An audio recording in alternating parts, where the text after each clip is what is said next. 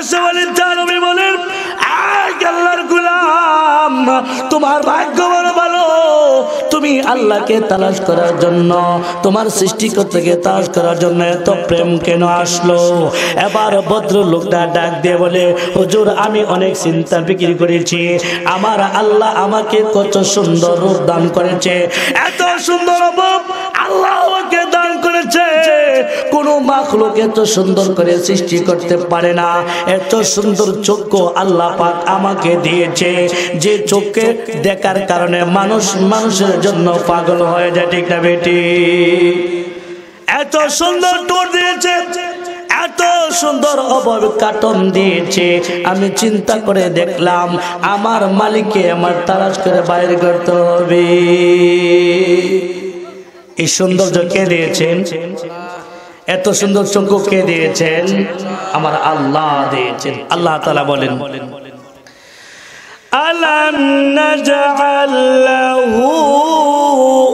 আইনাইন।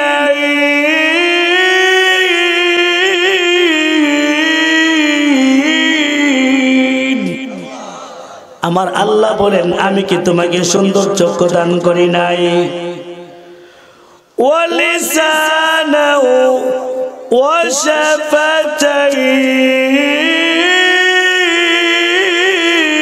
وشفتين বলে আল্লাহু আকবার আমার আল্লাহ বলেন এত সুন্দর আমি আল্লাহ জবান দিয়েছি এত সুন্দর টোট আমি আল্লাহ দিয়েছি এবার উনি বলেন আমার মালিককে আমি তালাশ করতে যাই আশরাফ আলী তানবী রহমতুল্লাহ আলাই বলেন "আয় ভদ্রলোক তুমি তোমার মালিককে দেখতে চাও।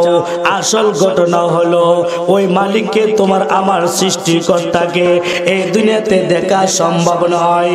তুমি যদি ইমান নিয়ে আল্লাহর উপর বিশ্বাস রেখে যদি মরতে পারো, আল্লাহ পাকরাবুল আলামিন তোমাকে জান্নাতের মধ্যে দেখা দিবে। সুবহানাল্লাহ বলেন। আশরাফ আলী তানবী রহমাতুল্লাহ আলাইহি, যখন ভদ্রলোকের সামনে আল্লাহর পরিচয় তুলে ধরলেন আল্লাহর কথা যখন তার সামনে আনলেন ইসলামিক মিডিয়া সুস্থ সমাজ বিকাশের জন্য মার্কাস টিভি الحمد لله نحمده ونستعينه ونؤمن به ونتوكل عليه.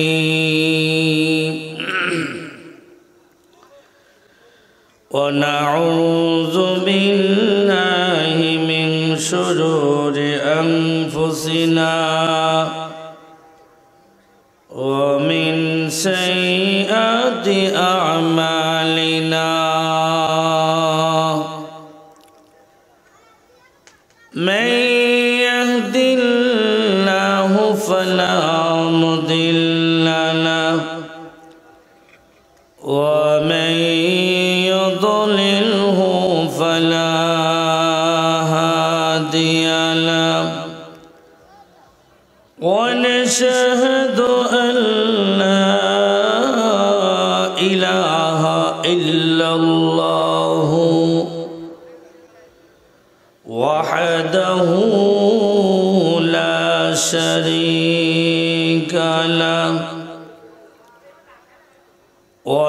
ونشهد أن سيدنا وسندنا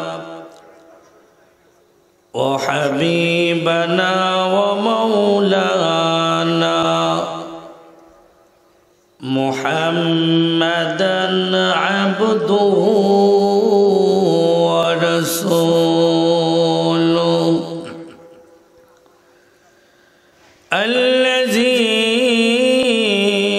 أرسل إلى الناس كافة بشيرا ونذيرا. وداعيا إلى الله بإذنه. سراجا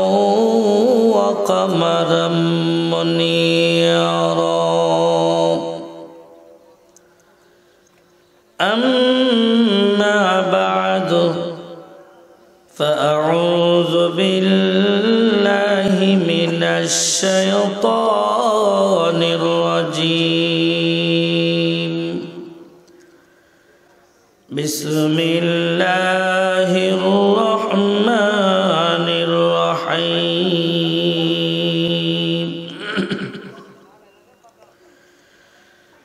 إنما المؤمنون الذين إذا ذكر الله وجلت قلوبهم تليت عليهم آياته زادتهم إيمانا. وعلى ربهم يتوكلون.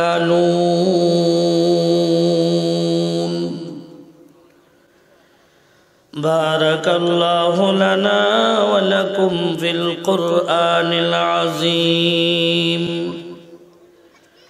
ونفعنا وإياكم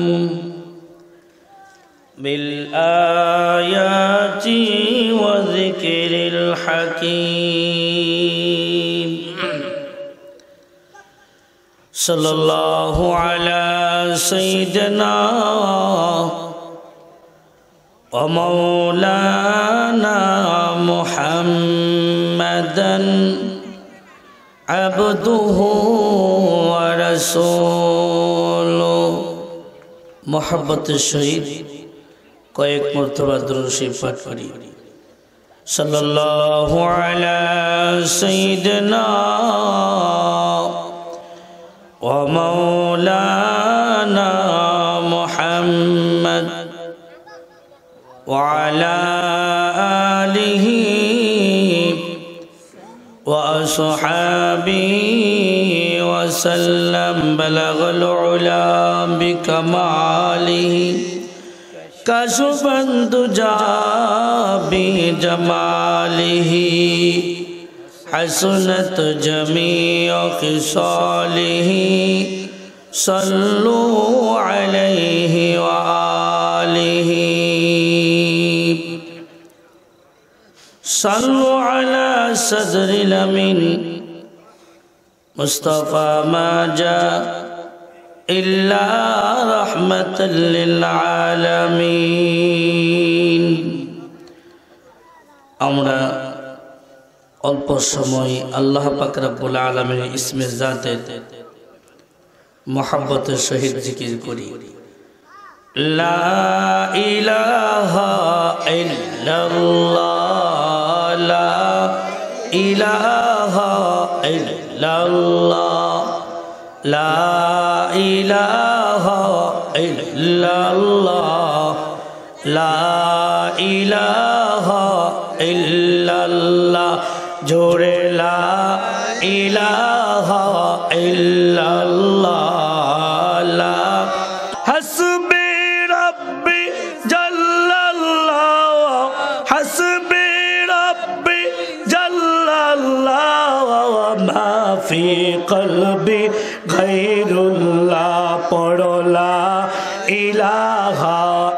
ইল্লাল্লাহ পড়লা ইলাহা ইল্লাল্লাহ লা করো জোরে লা ইলাহা ইল্লাল্লাহ লা ইলাহা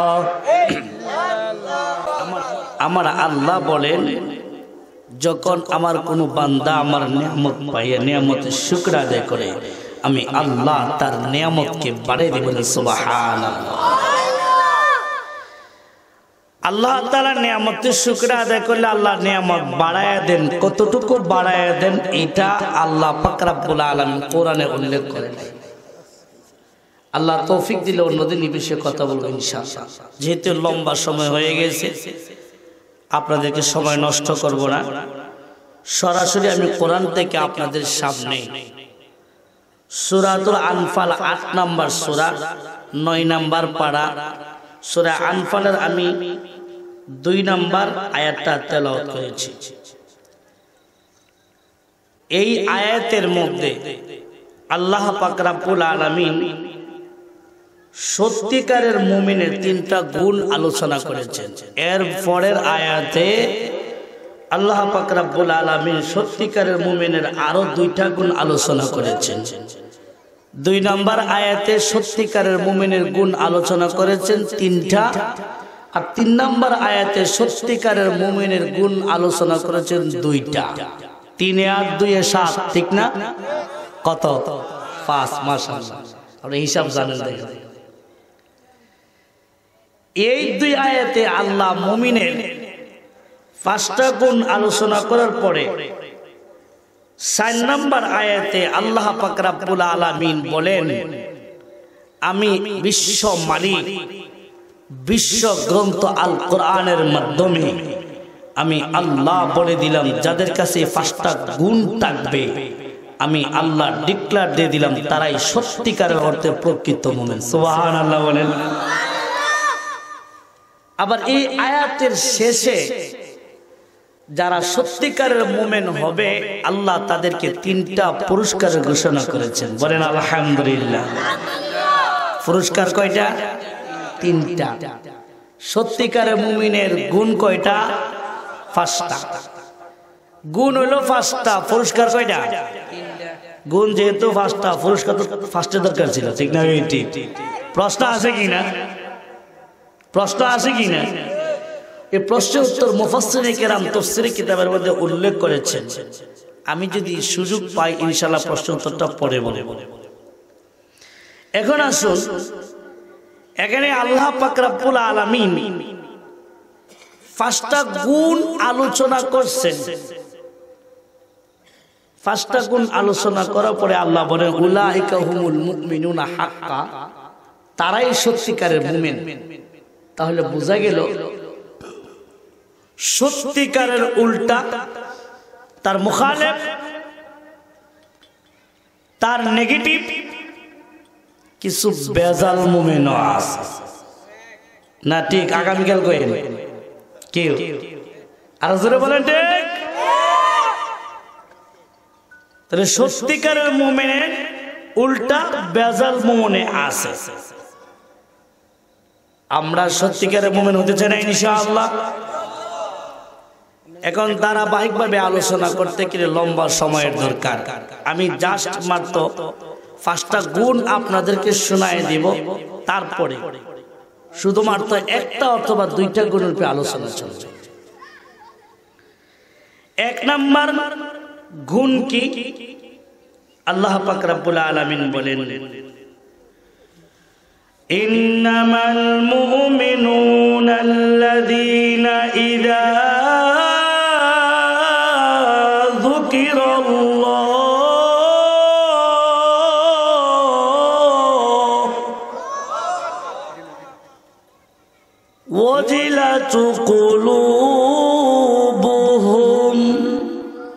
আমার আল্লাহ বলেন, যারা আমার সত্যিকারের মুমিন হবে, তাদের প্রথম নাম্বার গুণ হলো, যখন তাদের সামনে আমি আল্লাহ পাকের নামটা উচ্চারণ করা হয়, তাদের অন্তরটা বিত সন্তুষ্ট হয়ে যায় সুবাহান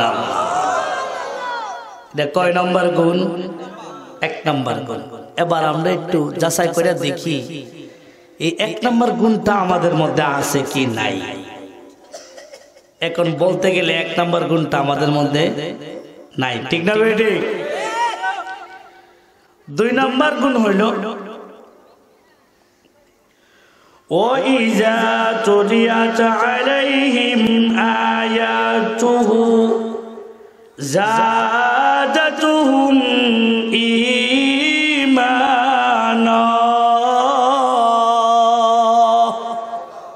আমার আল্লাহ বলে, ও মুমেন, তুমি যদি সত্যিকারের মুমেন হয়ে থাকো, তাহলে তোমার সামনে যখন কোরআন তেলাওয়াত করা হবে, তখন তোমার ইমানটা বেড়ে যাবে। শুধু কোরআন তেলাওয়াত না, কোরআনের আলোচনা শুনলেও মুমিনের ইমান আস্তে আস্তে বাড়তেই থাকে কয় নম্বর গুণ গেল? তিন নম্বর। ওয়ালা রব্বিম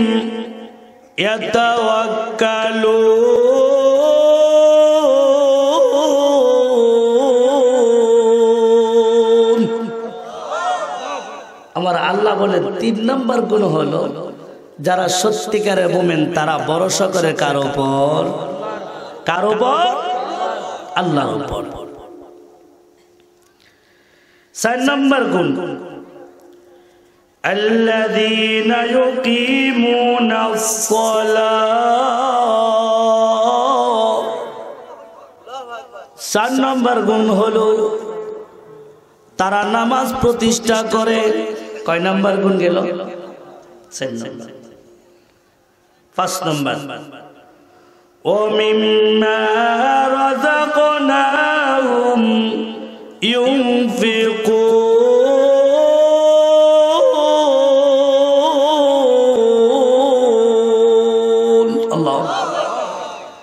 পাঁচ নম্বর গুণ হলো আল্লাহ পাক তাকে যে পরিমাণ রিজিক দিয়েছে তার সে আল্লাহ রাস্তায় ব্যয় করে। এই পাঁচটা গুণ আলোচনা করার পরে তিনটা পুরস্কার হলো, আল্লাহ বলেন তারাই সত্যিকারের মুমিন, লাহুম দারাজাতুন ইনদা রাব্বিহিম, তাদের সম্মান আমি আল্লাহর কাছে বেড়ে যায়। এক নম্বর পুরস্কার, সুবহানাল্লাহ। দুই নম্বর পুরস্কার হলো ও মাগ ফিরাচুন আমি আল্লাহ তাদের জিন্দগির সমস্ত গুণা খাতা মাফ করে দেবেন তিন নম্বর পুরস্কার ও রিস্কুন কারিম। আমি আল্লাহ তাকে সম্মানিত রিজিক দান করি। সুবহানাল্লাহ বলবেন না? এই হলো পাঁচটা। এবার আসুন। এক নম্বর গুণ যেটা আল্লাহ আলোচনা করলেন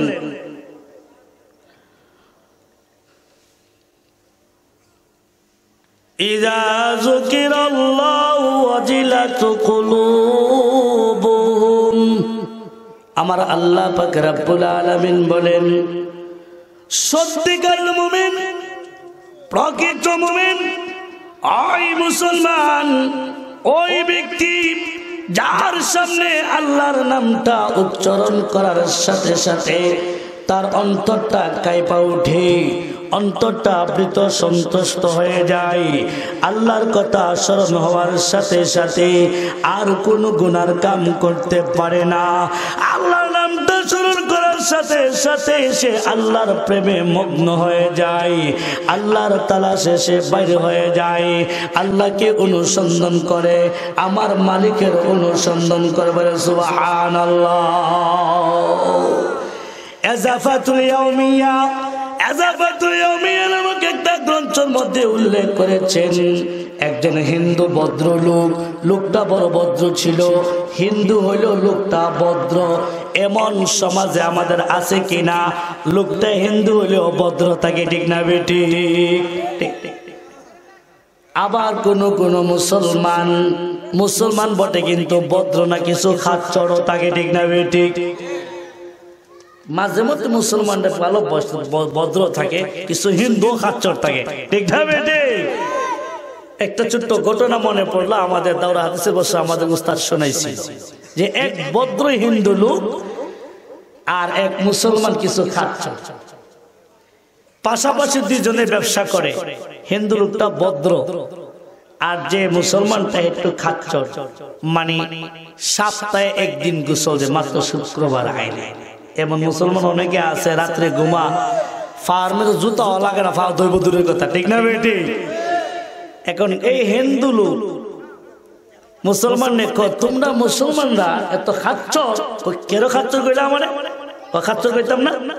এই মিয়া, তুমি এক শুক্রবারে গোসল দাও আর এক শুক্রবার আইলে পরে গোসল দাও। আর আমরা হিন্দুরা সকালে ঘুম তুইটা স্নান করি। এরা গোসলে কি কয়? স্নান। সকালে আমরা ঘুম তুইতে স্নান করি, তারপরে ব্যবসার আসি। ব্যবসা শেষ, দুপুরে বাসায় যাই, যে স্নান করি, আবার ব্যবসাতে আসি, রাত্রে যাই আবার স্নান করি। আর তোমরা মুসলমান, এক সপ্তাহ পরে পরে শুক্রবার আইলে গোসল দেও। এখন এই ভদ্র হিন্দু লোকের কথা শুই না। এই হিন্দু লোক মুসলমানটা যদি একটু খাচ্চর হের গায়ে একটু লাগছে, ঠিক না, বেটি? হে অভদ্র হইলেও খাচ্চর হইলে তো বুদ্ধি কাটাইছে কে মিয়া বিষয় কথা কয় না, কো ও তুমি সারা দিন ব্যবসা করো, ওই দুপুরে দেয় গোসল। আবার দুপুরে পরে লম্বা সময় সারাদিন ব্যবসা করো, আবার রাত্রে যায় গোসল। আর আমরা মুসলমানরা এই শুক্রবার আর এই শুক্রবার এই শুক্রবার আর এই শুক্রবার এই শুক্রবার আর এই শুক্রবার। কত কাছে বিষয়টা চলছেন না? এই হিন্দু ভদ্রলোক সে তার ব্রাহ্মণকে বলল হো ব্রাহ্মণ আমি আমার মালিককে তালাশ করতে চাই। আমি আমার মালিককে নিজ চোখে দেখতে চাই। ব্রাহ্মণ ডাক দিয়ে বলে "হ্যাঁ, হিন্দু লোক, হ্যাঁ, ভদ্র জমিদার, তোমার মালিককে তুমি প্রতিদিন দেখতেছো। আবার নতুন করে মালিককে দেখার কথা কেন বলো? হিন্দু ভদ্রলোক ডাক দিয়ে বলে "আয় ব্রাহ্মণ, আমি এই মালিককে দেখতে চাই না। যে মালিককে তোমরা মাটি দ্বারা বানাইছো, পিছন দিয়া বাঁশ দিয়া ধাক্কা দিয়া রাখছো নিজের হাতে বানাইয়া এটার আবাদত করো।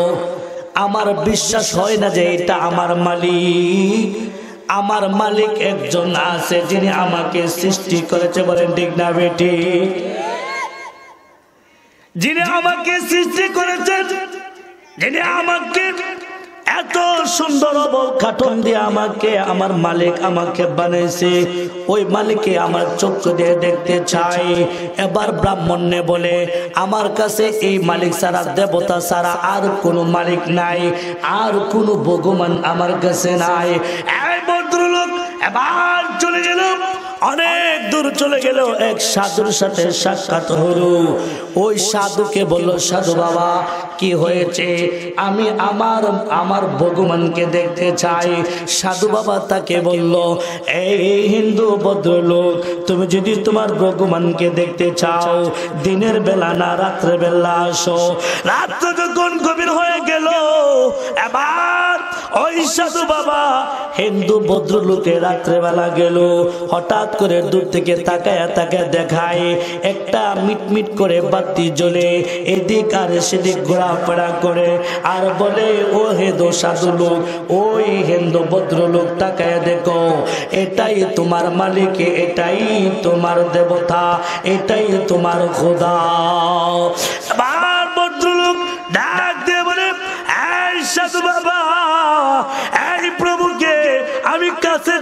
নিজ চোখে দেখতে চাই, আমার নিজ চোখে দিয়ে আমি তাকে অনুধাবন করতে চাই। এবার যখন কাছে গেল, যায়া দেখে আসলে এটা কোনো প্রভু না একটা খচ্চরের উপর সিমেন্ট দিয়া একটা দাবাটা বানাই দিল, একটা সমতল ফাটা বানাইলো, ওইটার উপর একটা বাতি রাখল। আর যখন খচ্চরটা চলাফেরা করে, নড়াচড়া করে বাতিটাও নড়াচড়া করে, আসলে এটা কোনো দেবতাও না, এটা কোনো মূর্তিও না। এবার ওই সাধুর এবার ওই সাধু বাবার তার বাটফারি ধরা খেয়ে গেল, তার বন্ডামি গোমর ফাঁক হয়ে গেল। এবার বলে, ওই সাধু বাবা, তুমি আমাকে এটা কি দেখাইলা? এবার সাধু বাবা বলে, না না না না, তুমি আমার ক্ষতি করিও না। আমি এর মাধ্যমে সাধনা করে আমার জিন্দগি যাপন করি। তুমি কারও কাছে বলিও না। বলে সাধু বাবা, কারও কাছে বলা আর না বলা আমার এটা কোনো বিষয় না। আমি আমার মালিককে দেখতে চাই। হাই হাই, কোথায় গেলে মালিককে দেখতে পারব? রাস্তা দিয়ে ঘোরাফেরা করে রাস্তা দিয়ে চলে। হঠাৎ করে একদিন রাস্তা দিয়ে যায়। আর হঠাৎ করে দেখে একটা বৃদ্ধ লোক মসজিদ থেকে বাইরে হয়ে গেল। দৌড়ে তার কাছে চলে গেল। আর বলে "এই মুসলমান বাবা, আমি আমার মালিককে দেখতে চাই, আমি আমার প্রভুকে দেখতে চাই, আমার প্রভুকে কীভাবে দেখতে পারব? এবার ওই মুসল্লি বৃদ্ধ লোক বাবা ডাক দিয়ে বলে, বাবা, তুমি যদি তোমার মালিককে দেখতে চাও, আল্লাহ দেখতে চাও, তবে আমি তোমাকে দেখাতে পারব না। একটা কাজ করতে পারো, কি কাজ করতে পারো? তুমি চলে যাও। বর্তমান জমানার সবচেয়ে বড় যিনি আলেম ওনার কাছে চলে যাও। উনি তোমাকে দেখাইতে পারবে। ওনার নাম কি বলেন? ওনার নামটা বলে দিলেন, বর্তমান জমানার সবচেয়ে বড় আলেম হাকিমুল উম্মদ আল্লামা আশরাফ আলী তানবী রহমতুল্লাহ আলাই সুবহানাল্লাহ বলেন। তানবী রহমতুল্লাহ কাছে এবার ডাক দিয়ে বলে, হুজুর, অনেক দূর দূরান্ত থেকে আপনার কাছে এসেছি। কেন এসেছ রে বাবা? আমি এসেছি, আমি আমার মালিককে নিজ চোখে দেখার জন্য, আমি আমার খোদাকে নিজ চোখে দেখার জন্য, আমি আমার প্রভুকে নিজ চোখে দেখার জন্য। এবার আসছে বলি তানবী রহমাতুল্লাহ ডাক বাবা, তোমার উদ্দেশ্যটা অনেক ভালো, তোমার উদ্দেশ্যটা অনেক সুন্দর। তবে শুনো, আমার আল্লাহ রব্বুল আলামিন যাকে তুমি নিজ দেখতে এসেছ, ওনাকে দেখার মানে হইল, ওনার দর্শন লাভ করা মানে হইল, ওনার প্রেমে মগ্ন হওয়া। হ্যাঁ হ্যাঁ হ্যাঁ আমি ওনার প্রেমে মগ্ন হয়ে গেছি আসো বলে তোমার কপালটা বড় ভালা তোমার ভাগ্যটা বড় ভালা। তুমি আসল মালিকের পরিচয়ের জন্য বাড়িঘর ছেড়ে চলে আসছো, ঠিক না বেটি? আমার আল্লাহ এত বড় দয়ালু আল্লাহর কোন গুলাম সারা বছর আবাদত করে না, গুলামি করে না। গুনার কাছে সময়টা ব্যয় করে দেয়। সারাদিন ফেসবুক দেখতে দেখতে গুনা ব্যয় সময় নষ্ট করে দেয়। আর আর নায়ক নায়কের ছবি দেখতে সময় নষ্ট করে। দুনিয়ার কাজে ব্যয় করে সময়টা নষ্ট করে। আর করে, অপরাধ করে। আল্লাহর কোন বান্দা যখন নিজের গুনার কথা পাইবা অপরাধগুলি স্বীকার করিয়া আল্লাহর পরিচয় পাওয়ার জন্য জাহান নামের আগুন থেকে বাঁচার জন্য যখন মসজিদ দিকে দৌড়ায় দেয়। আমার খুশি হয়ে যায়।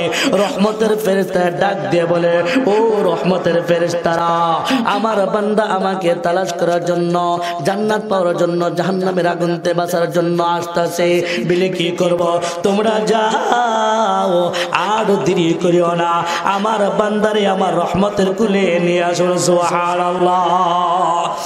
আসে বলে জানবি বলেন আল্লাহর গুলাম, তোমার ভাগ্য বড় ভালো তুমি আল্লাহকে তালাশ করার জন্য, তোমার সৃষ্টিকর্তাকে তালাশ করার জন্য এত প্রেম কেন আসলো?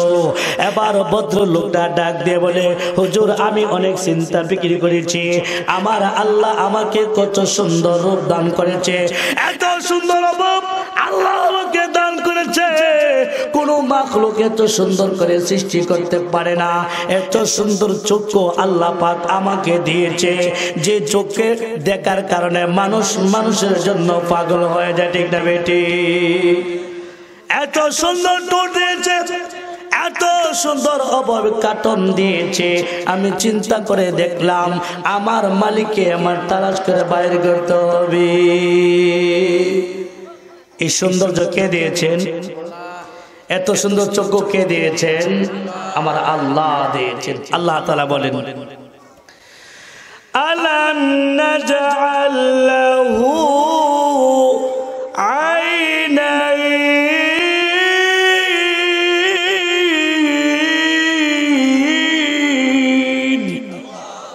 আমার আল্লাহ বলেন, আমি কি তোমাকে সুন্দর চক্ষু দান করি নাই? ولسانا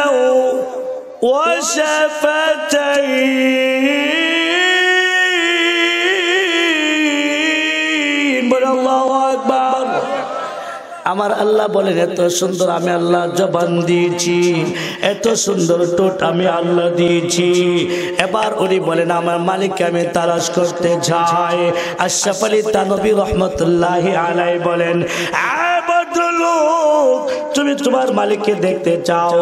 আসল ঘটনা হলো, ওই মালিককে তোমার আমার সৃষ্টিকর্তাকে এই দুনিয়াতে দেখা সম্ভব নয়। তুমি যদি ইমান নিয়ে আল্লাহর উপর বিশ্বাস রেখে যদি মরতে পারো, আল্লাহ পাকরাবুল আলামিন তোমাকে জান্নাতের মধ্যে দেখা দিবে। সুবহানাল্লাহ বলেন।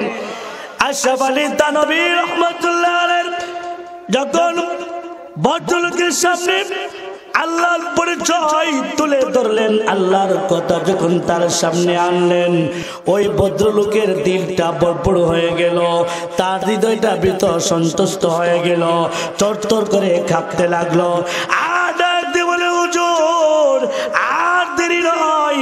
এই মুহূর্তে আমাকে কালিমা পড়ে মুসলমান বানায় দেন। লা ইলাহা ইল্লাল্লাহু মুহাম্মাদুর ওয়াসাল্লাম।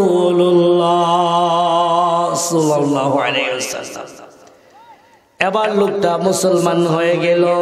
আল্লাহ নবী সাল্লাল্লাহু আলাইহি ওয়াসাল্লাম বলেন, আল ইসলাম মা কানা ক্বাবলাহু। কেউ যখন মুসলমান হয়ে যায়, ইসলাম ধর্ম গ্রহণ করে। আর সাথে সাথে ওই বান্দার জীবনের সমস্ত গুনাহ আল্লাহ মাফ করে দেবেন। সুবহানাল্লাহ। এটা হলো এক নাম্বার গুণ ভাইয়েরা আমার। আলোচনা আর দীর্ঘ করব না। এই মুহূর্তে আলোচনা আমি শেষ করে দেব।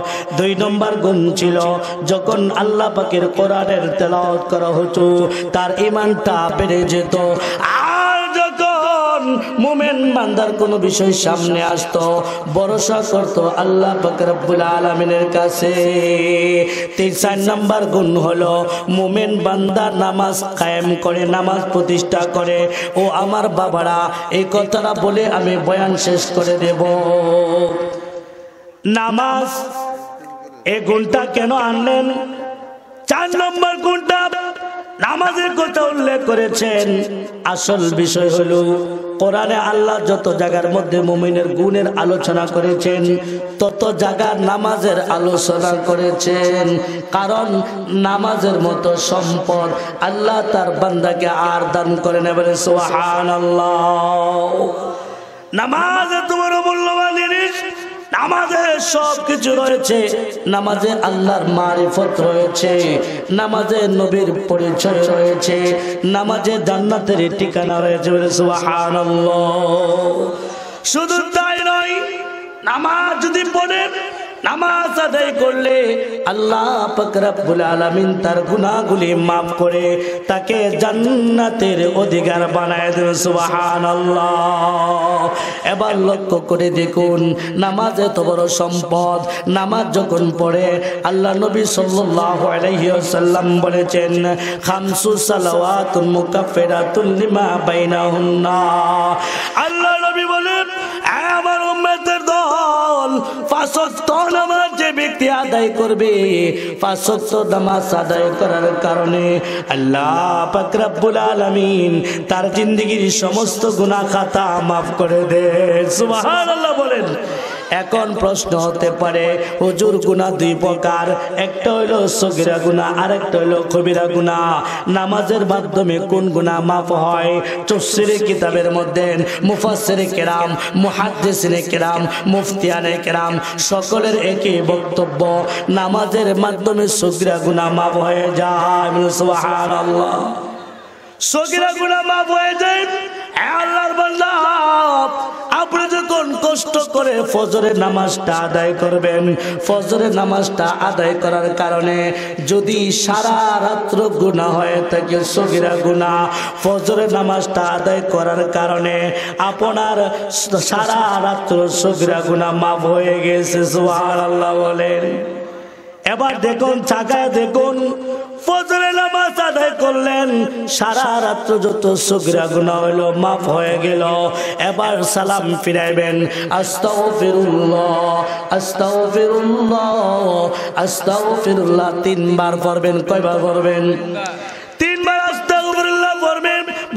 শরীফের হাদিসের মধ্যে আল্লাহ নবী বলেছেন, ও ইলাইহি। নবীজি তিনবার সালাম ফিরে, আস্তাগফিরুল্লাহ পড়ে, আর একবার আতুবু ইলাইহি পড়ে। এর অর্থ হলো, আল্লাহ, তুমি আমাকে ক্ষমা করে দাও। তুমি আমাকে মাফ বলে আচুবু ইলাইহি, আল্লাহ, যত গুনাহ করেছি, যত অন্যায় করেছি, যত পাপ করেছি, আল্লাহ, আমি আর করব না, আর অন্যায় করব না, আর পাপ করব না, তোমার নাফরমানি করব না। আপনি বজরের কারণে সারা রাত শুক্রিয়া গুণা মাফ হয়ে গেল। আর সালাম ফিরে যখন আপনি এতটুকু বলবেন, বেশি বলতে হবে না।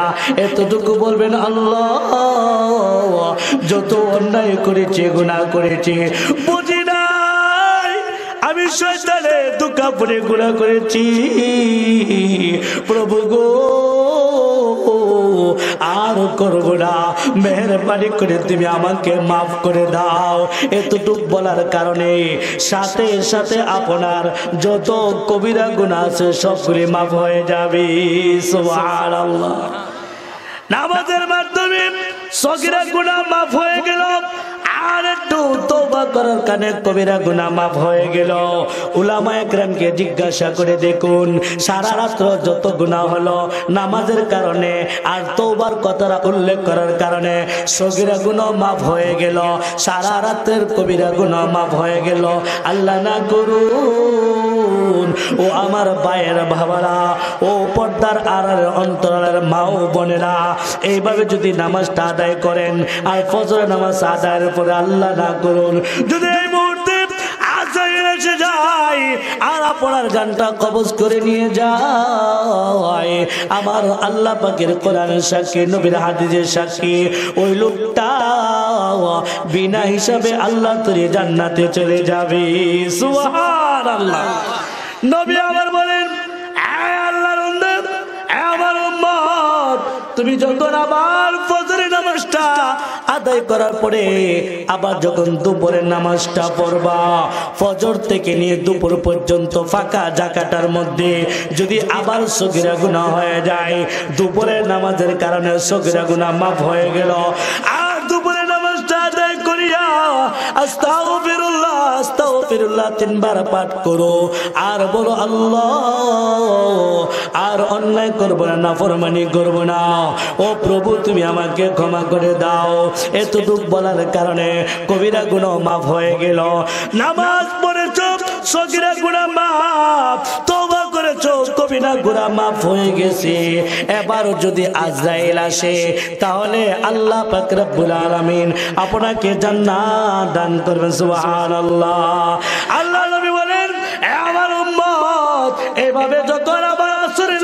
পড়ল, আর যখন সে তওবা করল, দুপুর থেকে আসর পর্যন্ত গুনাহ থাকলে সগিরা কবিরা গুনাহ মাফ হয়ে গেল। আবার যখন এশারের নামাজটা আদায় করল, মাগরিব থেকে আসা পর্যন্ত সগিরা এবং কবিরা গুনাহ থাকলে নামাজ আজ তোবার মাধ্যমে গুনাহ মাফ হয়ে যায়। ওইভাবে যদি আল্লাহর বান্দা নামাজ আদায় করতে পারে, আমার আল্লাহ পাক রব্বুল আলামিন তার জিন্দেগির গুনাহগুলি মাফ করে দিয়ে আল্লাহর তরি জান্নাত দান করবে সুবহানাল্লাহ। নামাজ হতে রাজি আসিনি নামাজ হতে রাজি আসিনি আল্লাহ নবী বলেছেন, আমার কোন অন্য যখন নামাজ পড়ার জন্য বাড়িতে উজু করে, উজু করার সাথে সাথে তার হাতের গুণাগুলি মুছে যায়। সোহান আল্লাহ বলেন? যখন মুখ দৌত করে, তাহলে তার মুখের গুণাগুলি মুছে যায়। সোহান আল্লাহ বলেন, পা যখন দৌত করে, পার গুণা মুছে যায়। আল্লাহর বান্দা যখন উজু করা শেষ করে, উজু করা শেষ, এরপরে একবার পরে আশহাদু আল্লাহ ইলাহা ইল্লাল্লাহু ওয়াহদাহু আশহাদু আন্না মুহাম্মাদান আবদুহু ওয়া রাসূলুহু মিসকাত শরীফের মধ্যে আল্লাহর নবীর বান্দা যখন উজু করে উজু করার পরে কালিমে শাহাদাত পাঠ করে, আল্লাহর নবী বলেন, আমার উম্মতের জন্য বেহেশতের আটটা দরজা তার জন্য খুলে দেয় সুবহানাল্লাহ বাড়িতে উজু করে মসজিদের দিকে রওনা দেয়। উজু করার কারণে তার গুনাহ মাফ হয়ে যায়। আল্লাহর কাছে তার সম্মানটা বেড়ে যায়। এই জন্য যেখানে কদম রাখে। যতটা কদম উঠায়, প্রত্যেকটা কদমে কদমে আল্লাহ তার গুনাহ মাফ করিয়া, তার কদমে কদমে দশটা করে নেক লেখা দেবে, সুবহানাল্লাহ। আল্লাহর বান্দা যখন মসজিদে ঢুকে যাই তার সম্মান বেড়ে যায়। আল্লাহর বান্দা মসজিদে ঢুকে যখন নামাজের জন্য অপেক্ষা করে, নামাজ পড়ে না, বৈশা রয়েছে জামাতে নামাজ পড়বে।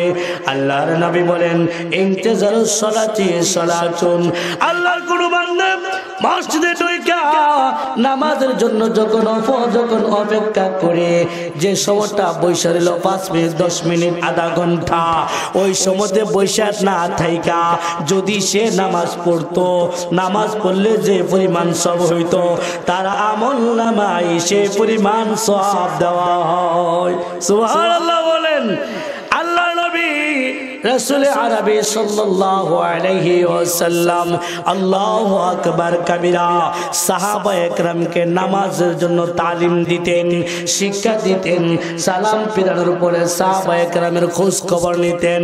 আল্লাহর নবীর প্রত্যেকটা সাহাবের জন্য দিল মাকা তার দরদ ছিল ঠিক না বেটি আজকে আমাদের মধ্যে নবীর মহাব্বত নাই, ঠিক না বেটি এইটাও আসতে কোটি জুড়ে বলেন। আজকে মোহাব্বত আমাদের কমে গেল। নবীর এস্ক আমাদের দিলের মধ্যে নাই। নবীর মোহাব্বত আমার দিলের মধ্যে নাই। অথচ আল্লাহর নবীর সাহাবা একরাম যখন আল্লাহর নবীর চেহারার দিকে তাকাইতেন, চেহারার দিকে তাকানোর সাথে সাথে তাদের অন্তরটা নবীর মোহাব্বতে ভরপুর হয়ে যেত। সুবহানাল্লাহ বলেন। নবীর জন্য দিত জান কুরবানি করে দিত, মাল কুরবানি করে দিত। নবীর আদর্শ থাকার জন্য তাদের নিজের জীবনটা উৎসর্গ করে দেব, ঠিক না বেটি আল্লাহর নবীর ভালোবাসা, আল্লাহর নবীর মোহাম্মত আমাদের নাজাতের ফয়সালা বলে সুবহান আল্লাহ আল্লাহর নবী মোহাম্মত নাজাতের ফয়সালা আমার আগের বক্তা বলে গিয়েছেন, কল ইন কুনতুম তুহিবুনাল্লাহ ফাত্তাবিউনি। তোমরা যদি আমি আল্লাহকে মোহাব্বত করতে চাও, আমি আল্লাহকে পেতে চাও, আমি নবীর মোহাব্বত করো বলে সুবহানাল্লাহ। নবীর মোহাব্বত নবীর ভালোবাসা যে সাহাবির দিলের মধ্যে ঢুকে গিয়েছেন, ওই সাহাবি খানা পিনা সব শেষ করে দিতেন। এক সাহাবি নবীর দরবারে দাঁড়ায় রইলেন। আল্লাহ নবী জিজ্ঞাসা করে, ও আমার সাহাবি, তুমি কেন দাঁড়ায় রইলা? ইয়া রাসূলুল্লাহ, ইয়া কিদা লেগেছে, আমি দাঁড়ায় রয়েছি কোনো খাবার নাই। নবীজি বলে, ও আমার সাহাবি, তোমার খাবার নাই, আমার খাবার নাই, আমি কোথায় থেকে তোমাকে খাবারের ব্যবস্থা করে দিব? ওই সাহাবি ডাক দিয়ে বলে, ইয়া রাসূলুল্লাহ, ইয়া হাবিবাল্লাহ, খাবারের নাই তাহলে তোমার পেটের কিদা কীভাবে নিবারণ হবে? সাহাবি ডাক ইয়া রাসূলুল্লাহ, ইয়া হাবিবাল্লাহ, আপনার মহাব্বত আর ভালোবাসা আমার দিলের মধ্যে এমন ভাবে গঠিত আছে। ইয়া রাসূলুল্লাহ আপনার সুন্দর চেহারার দিকে যখন আমি তাকায় থাকি, আপনার সুন্দর চেহারা যখন আমি দেখি কদার কসম করে বলি, আমার মধ্যে আর ফেডের কিদা থাকে না। সুবহানাল্লাহ বলেন। আল্লাহর নবীকে আল্লাহ পাক আলামিন এত সৌন্দর্য দিয়ে সৃষ্টি করেছিলেন। আম্মা জান, আয়েশা সিদ্দিকা নবীর ছোট স্ত্রী ছিলেন। নবীকে নিয়ে চন্দনী রাত্রে বৈশা বৈশা গল্প করতেছিলেন। নবীজি আর নবীজির স্ত্রী আয়েশা সিদ্দিকা বসে বসে গল্প করেন। মধুর সময়টা অতিক্রান্ত করেন। স্ত্রীর সাথে বসে বসে গল্প করা নবীর সুন্নত। ঠিক না বেঠিক আরও জোরে বলেন। স্ত্রীর সাথে গল্প করা নবীর সুন্নত। আমার নবী স্ত্রীর সাথে বৈশা বৈশা গল্প করেছেন। শুধু তাই নয়, আমার নবী স্ত্রীদেরকে কে পরিমাণ ভালোবেসেছেন, দৃষ্টান্ত স্থাপন করেছেন। আম্মা জান আয়েশা সিদ্দিকা বলে, আমি যখন কোনো খাবার খেতাম, খাবার খাইয়া যখন দস্তরখানার মধ্যে হাড় গুলি রেখে দিতাম, হাড্ডিগুলি ছাপাইয়া রেখে দিতাম, ফেলে দিতাম, আল্লাহর নবী ওই হাড়গুলি উঠায়া উঠায়া কাবারগুলি নবীজির মুখের মধ্যে দিতে আবার চাবায়া চাবায়া খাইতে বলে, সুবহানাল্লাহ। আজকে তো নবীর আদর্শ আমাদের কাছ থেকে বিদায় নিয়ে গেছে। ঠিক না বেটি বউয়ের সাথে কথা কইতে ভালো লাগে না, আর ওই হে গোবারি বাবির সাথে রং ডং লাগায় কত কত মজা লাগে। ঠিক না আহা। আল্লাহর নবী বলেছে, ও আমার যুবক ভাই, আল্লাহর নবী বলেছে, তুমি যখন তোমার স্ত্রীর দিকে একবার থাকাইবা আল্লাহ পাক রব্বুল আলামিন তোমার জিন্দিগির উপরে আল্লাহ একটা রহমত নাজিল করেন। আরও জোরে বলেন, শুধু তাই নয় আল্লাহ নবী বলেছে আমার উম্মত তুমি তোমার স্ত্রীকে মহাব্বত করে, প্রেম নিবেদন করে, ভালোবাসা দি তুমি যদি একটা লোকমা খাবার তোমার স্ত্রীর মুখের মধ্যে উঠায় দাও।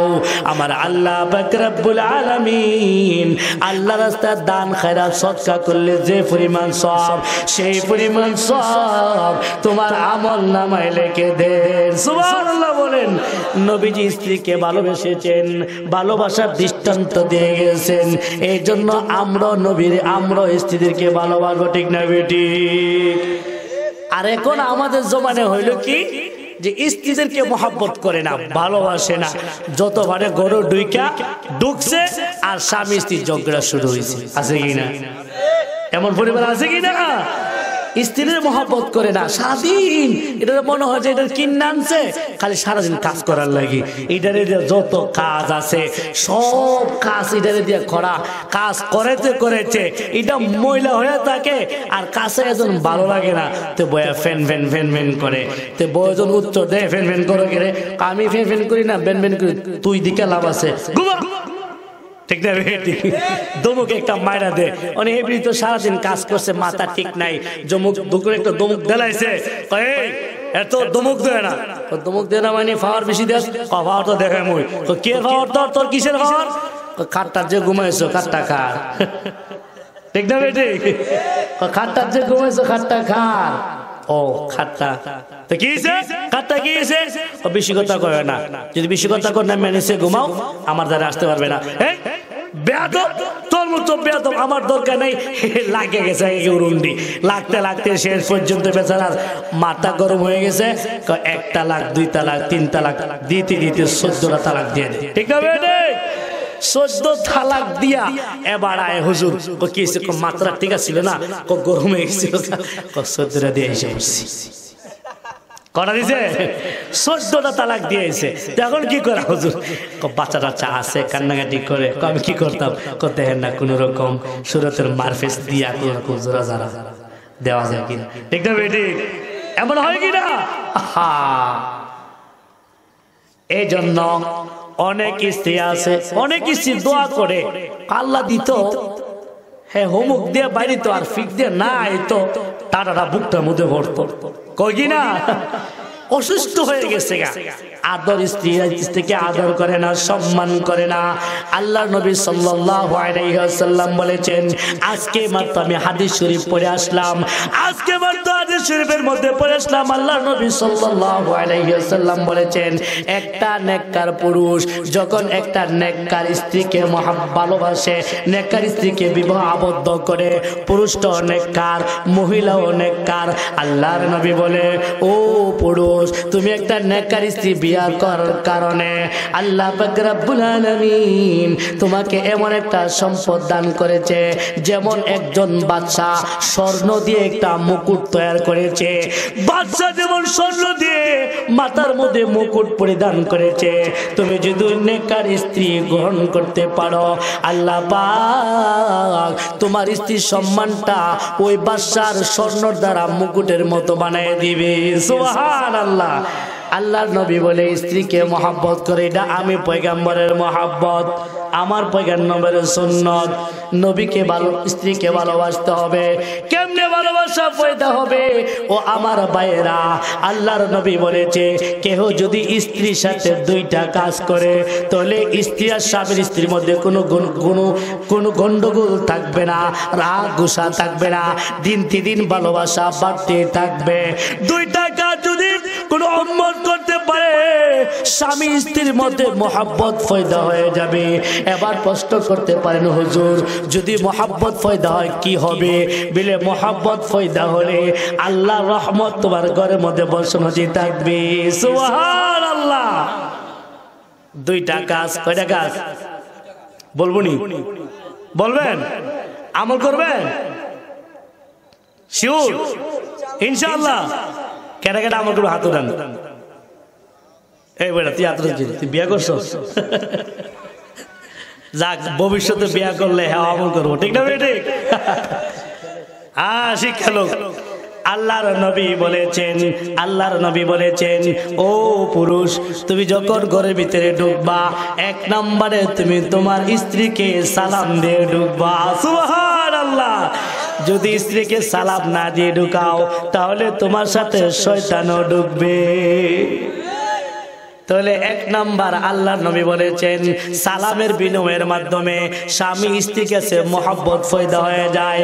আজকে জমানা স্ত্রী স্বামীকে সালাম দেনা সরম লাগে, ঠিক না বেটি স্ত্রী তো দেওই না, স্বামী তো আরও আগে এটা সালাম দিতাম ফহিনী রে। কথা বুঝছেন না?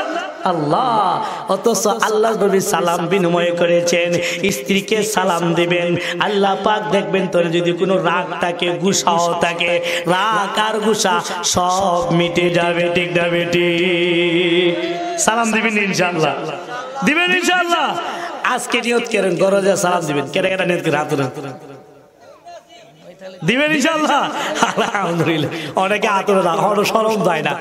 রে। সালাম দিলে কোনো ক্ষতি নাই সালাম দিলে লাভ আর লাভ। সালাম দেওয়ার সাথে সাথে দশটা নেকি। সুবহানাল্লাহ বলে। আজকে গরজে সালাম দিবেন। আসসালামু আলাইকুম ওয়া রাহমাতুল্লাহ। একটা মিসকিকে একটা হাসি দিবেন। মুস্কি হাসি দেওয়া সুন্নাত। খোদার কসম করে বলি, আল্লাহর পয়গম্বর বলেছে, ও যুবক, ও আমার মুসলমান ভাই, স্ত্রীকে সালাম দিবা, মিসকে হাসি দিবা। আল্লাহর পক্ষ থেকে দুজনের উপরে রহমত নাজিল হয়ে যাবে। গিয়া সালাম দিবে আসসালামু আলাইকুম। বউ কইব, আরে বাবা, আছে, বাজি বুঝতে হয়ে গেছে। কইতে আইছেন এক বৃষ্টি কথা কয় না, হুজুরি কইছে, সালাম দিতে আমি যেন সালাম দিছি। মনে মনে আসব, যদি রাগ গুসাও থাকে, দেখবেন তো সব মিশিয়েছে ঠিক না আর একটা কাম করবেন, স্ত্রীর পাশে নিয়ে বসবেন, আর বলে, আসো দুইজনে এক প্লেটে ভাত খাব। আমারই আমার নাম চাইছে স্ত্রীকে পাশে নিয়ে বসবেন একসাথে খাবার খাবেন প্রয়োজনে লোকমাটা উঠাই দিবেন লজ্জার কোনো বিষয় নাই শরমের কোনো বিষয় নাই বুখামি করবেন না। সালাম শুধু স্ত্রীকে নয়, স্ত্রীকে সালাম দিবা, নিজের ছোট বাচ্চাটাকে সালাম দিবা, নিজের সন্তানকে সালাম দাও। আসসালামু আলাইকুম, বাবা, তুমি কেমন আছো? আব্বু, তুমি খাবার খেয়েছো?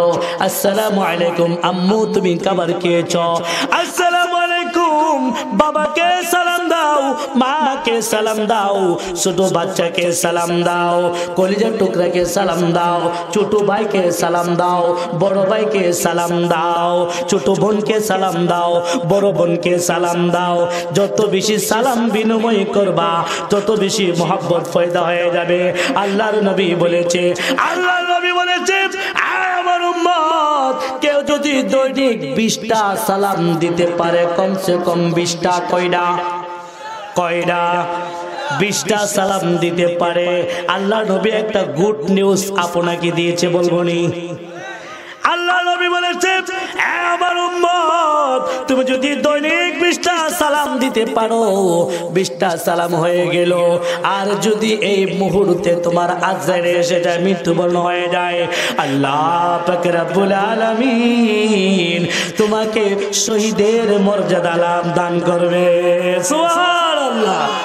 আল্লাহ নবী বলেছে যে ব্যক্তি তিনটা কাজ করবে আল্লাহ পাক রব্বুল আলামিন, তাকে জান্নাতের ওয়ারিস বানায় দিবি।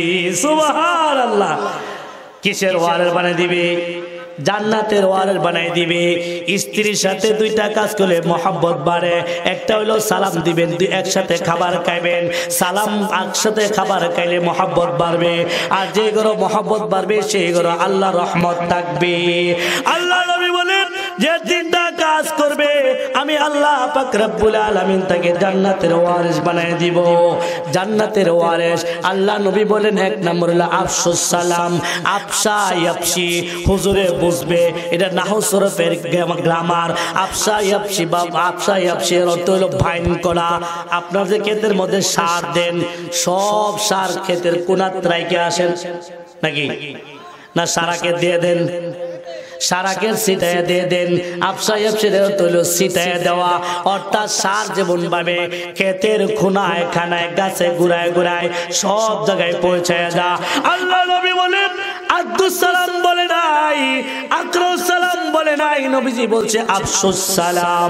এর মানে ও আমার সালামটা প্রচার করো, সালাম তুমি করো। এর মানে গরিব নাই, তুমি ধনী হয়েছো, গরিবকে সালাম দিবা সালাম দিবা। গরিবকে সালাম দিবা না এটা হতে পারে না। তুমি শিক্ষিত হয়েছো, অশিক্ষিতকে সালাম দিবা না এটা হতে পারে না। তুমি আলেম হয়েছো, তুমি জানে একজন আলেমকে সালাম দিবা না হতে পারে না। তুমি বাবা হয়েছো, সন্তানকে সালাম দিবা না হতে পারে না। তুমি স্বামী হয়েছো, স্ত্রীকে সালাম দিবে না হতে পারে না। অর্থাৎ সালামের মধ্যে কোনো তারতম্য নাই। মানুষ মুসলমান হলেই তাকে সালাম দিবে। সুবহানাল্লাহ বলেন। যে সবাইকে সালাম দিবে, আল্লাহ নবী বলেছেন, আল্লাহ নবী বলেছেন, যে ব্যক্তি সর্বপ্রথম সালাম দিবে বাড়ি উম্মিনাল কি বাড়ি কারও যদি অহংকারে রোগ থাকে, আগে আগে সালাম দেনেওয়ালার অন্তর থেকে কি বার অহংকারী চলে যাবে। সুবহানাল্লাহ বলেন। তাহলে জান্নাতের ওয়ারেস বানিয়ে দিব আল্লাহ। তিনটা কাজ করলে আফসুস, সালাম। এক নম্বরে সালাম দিবা, দুই নম্বর ও আতিমু তাআম। খাবার খাওয়াও, মেহমানদারি করাও, দস্তরখানা বিছায় দাও। আল্লাহ তোমাকে কমায় দিবে না বলে সুবহানাল্লাহ। আফসুস, সালাম সালাম প্রচার করো ওয়াজিমু তাআম। আবার খাবার খানায় দাও। আল্লাহর নবী বলেন তিন নম্বর, ও সাল্লু বিল্লাইলি অন্নাসু নিয়াম। আল্লাহর নবী বলেন তিন নম্বর কাজটা হলো, মানুষ যখন ঘুমায় যায়, তখন তুমি দাঁড়ায় দাঁড়ায় নামাজ পড়ো। সুবহানাল্লাহ। মানুষ যখন ঘুমিয়ে যায়, রাত যখন গভীর হয়ে নিস্তব্ধ হয়ে যায়, তখন তুমি নামাজ পড়ো। ও এলাকাবাসী, আপনাদেরকে প্রশ্ন করি, মানুষ যখন ঘুমিয়ে যা আর ওই সময় যে নামাজটা পড়া হয়, ওই নামাজটার নাম হলো দুপুরের নামাজ। কিসের নামাজ? আরও জোরে বলেন। তাহাজ্জুদের নামাজ, আল্লাহু আকবার কাবীরা।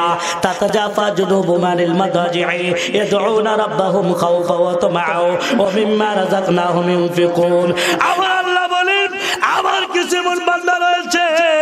তাতাজাফা জুনুবুহুম আনিল যারা আল্লাহর যারা আল্লাহর পাগল, যাদের ভিতরে আল্লাহর রয়েছে, রাত্র যখন তিনটা হয়ে যায়, রাত্র যখন চারটা হয়ে যায়, সে আর বিছানায় ঘুমায় থাকতে পারে না, ছটফট করতে থাকে, ঘুম থেকে উঠে যায়, ঘুম থেকে উঠে লাভ উঠে আল্লাহর পাকের গুলামের দিলের মধ্যে আল্লাহর ভয়। জান্নাতের আশা নিয়ে যখন সে নামাজ পড়ে আর কান্নাকাটি করে, আমার আল্লাহ বলেন, ও আমার বন্দা, আমি আল্লাহ তোমাকে এমন একটা নিয়ামত জান্নাতের মধ্যে দান করব। যে নিয়ামত তুমি কোনোদিন দেখো নাই। নিয়ামত দেখবা দূরে কথা কল্পনা করো না। সুবহানাল্লাহ। মেসকা শরীফের কিতাবুল ফিতরের মধ্যে একটা হাদিস উল্লেখ করা হয়েছে। ওই হাদিসটা আমি আর কোথাও পাই নাই, কোথাও তালাশ করে পাই নাই।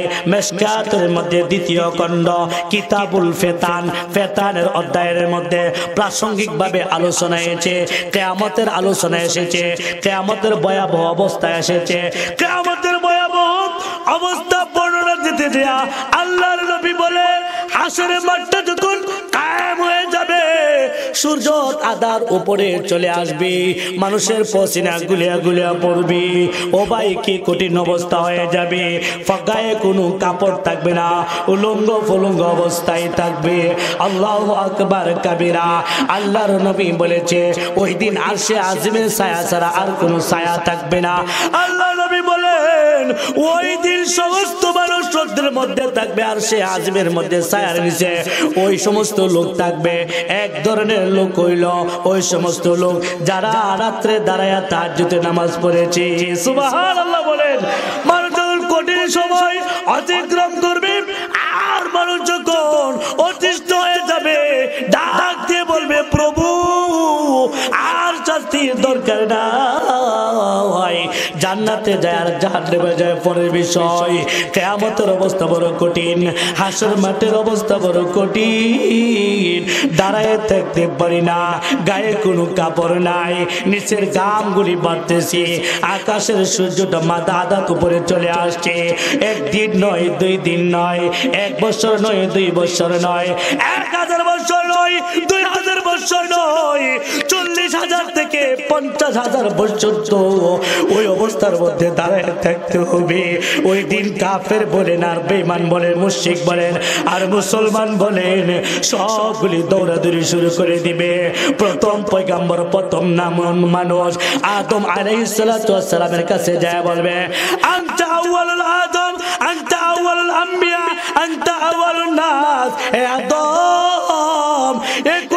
পরিস্থিতিতে আমরা আর বরদাস্ত করতে পারছি না। আল্লাহর কাছে চলে যাও, কি করব? আল্লাহর কাছে দরখাস্ত করো, মাবুদ এই কঠিন পরিস্থিতিতে আর থাকতে পারছি না। আল্লাহ মেহরবানি করি, তুমি বিচারের কার্য শুরু করে দাও। আমার আল্লাহ বকরবুল আলমিন ওই কঠিন মুহূর্তের মধ্যে ডাক দিবে, ওই ওনাদি মিন মুনাদি। একজন ঘোষণা ঘোষণাকারী, একজন ফেরেশতা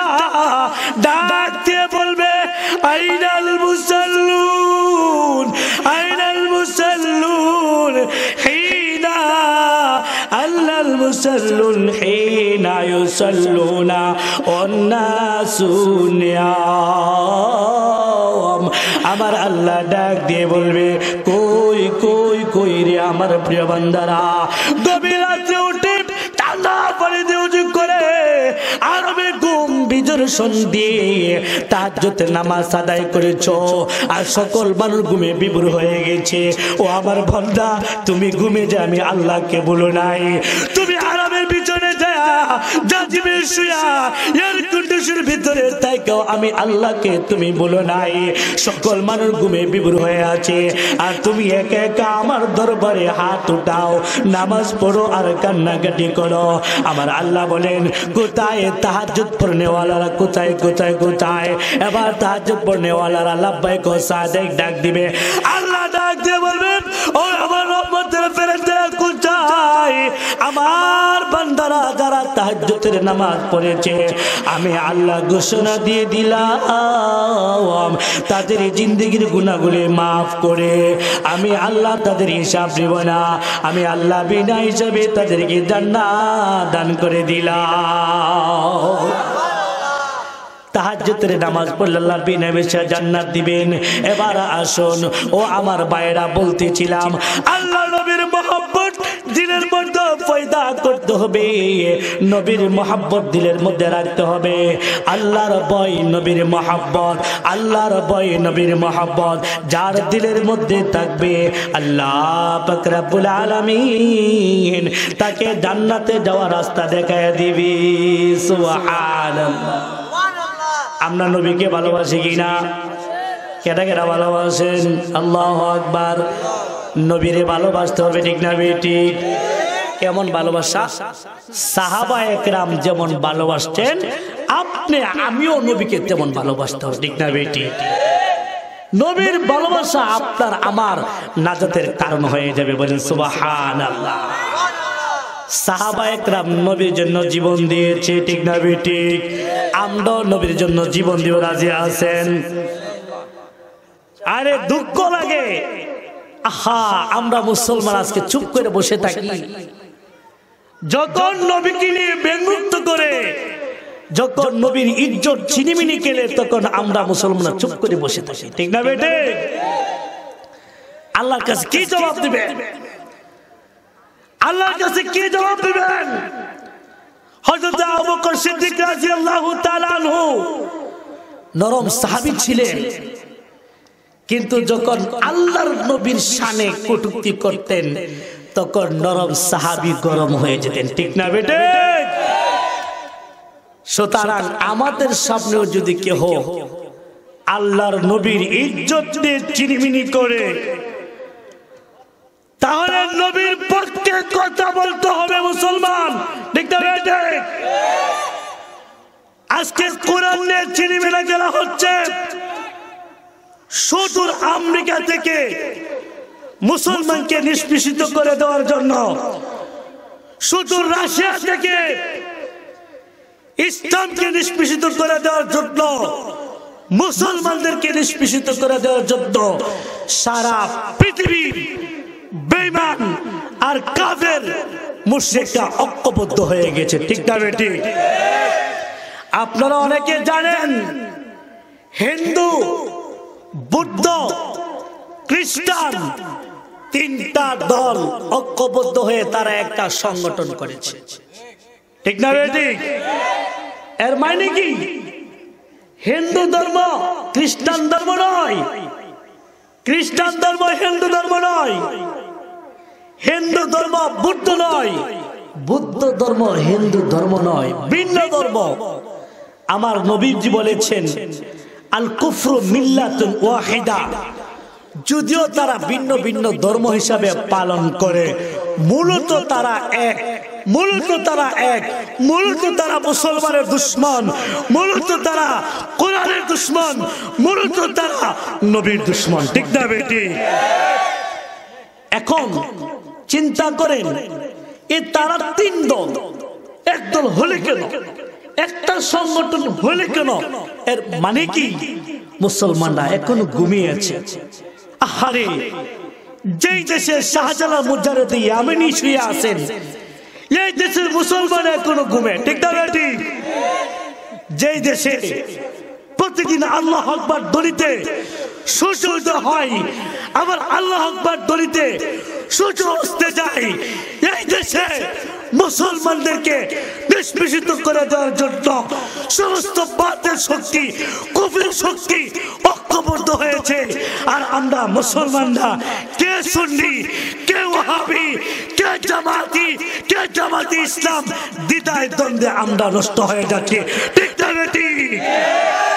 কিন্তু মুসলমান ঘুমে তার সুযোগ নাই। আজকে আপনি ঘুমিয়ে আছেন। আজকে এমন ঘুমে আছেন, এমন সময় আসবে, বাংলাদেশ মনে করতে পারেন, নিরানব্বই পার্সেন্ট এ দেশে মুসলমান। আমরা তো এখন নামাজ পড়তে পারছি, মসজিদে যাইতে পারছি। আহারে, ফিলিস্তিনের দিকে থাকায় দেখো। আহারে, তুমি, এ ফিলিস্তিন, মুসলমানদের, কাশ্মীরের মুসলমানদের তাকায় দেখো। তারা মসজিদ যাবে দূরের কথা, তারা ঘরের ভিতরে নামাজ পড়তে পারে না। সন্তানের সামনে মাকে দর্শন, মায়ের সামনে মেয়েকে দর্শন, এমন নির্যাতন কোন মুসলমান বরদাস্ত করতে পারে না। ঠিক না বেটে? আরে কীভাবে মুসলমান বরদাস্ত সেই দিন বেশি দূরে নয়। আমরা মুসলমান ঠিক। আমরা নিরব্বই পার্সেন্ট মুসলমান ঠিক। কিন্তু চেতনা নাই ইমানের পাওয়া নাই।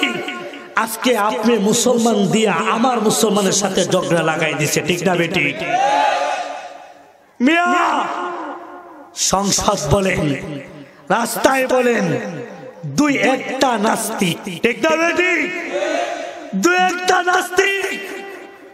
আজকে সরাসরি কোরআনকে আগুন দিয়ে পুড়িয়ে দিছে, কোরআনের উপর প্রস্তাব করে। আলোচনা বলেন। আমি আপনাদেরকে জিজ্ঞাসা করি, যদি আপনাদের সামনে এই মুহূর্তে কেউ এই কোরআনকে বিরোধিত করে, চুপ করে বসে থাকবেন। চুপ করে বসে থাকবেন। আপনার সামনে যদি আপনার বাবাকে বিরোধিত করে, তখন তো আপনি চুপ করে বসে থাকেন না, ঠিক না বেটি ও মুসলমান, সজাগ হয়ে যাও। প্রতিরোধ করে চলো। ক্লোজ হবে না। তোমার লাভ হবে নবীর ইজ্জতের জন্য, কোরআনের জন্য, ইসলামের জন্য। যদি হক কথা বলো, এর জন্য যদি তোমার ফাঁসি হয়, এর জন্য যদি তোমার আল্লাহ নবীর শপথ করে, তোমাকে জান্নাতে নিয়ে যাবেন। মুসলমান, তুমি সজাগ হয়ে যাও। আমরা এখান থেকে মেসেজ দেই। যদি কোনো সময় কোরআন নিয়ে ষড়যন্ত্র চলে, ইসলাম নিয়ে ষড়যন্ত্র চলে, তাহলে প্রয়োজনে জীবনটা রাস্তায় দিয়ে দিব। আল্লাহ রাস্তায় দিয়ে দিব। কে কে রাজা সাধু নাই